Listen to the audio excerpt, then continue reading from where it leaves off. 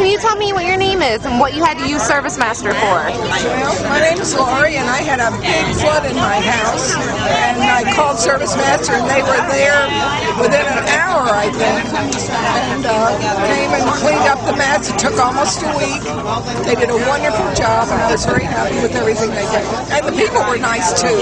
Would you recommend them to people you know? I certainly would. They did a wonderful job, and I would use them again. I hope I never have to, but if I do, I would certainly call them again. Thank you very much.